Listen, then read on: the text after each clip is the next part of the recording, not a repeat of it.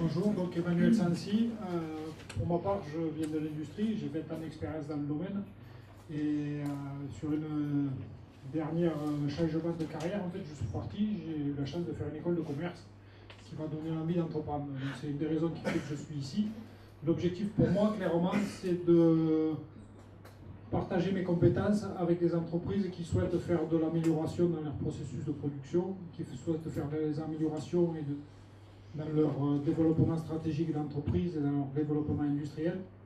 Et j'avoue que cette démarche m'amène moi aussi à me poser la question de savoir si j'ai envie de le faire pour les autres, si je veux le faire pour moi.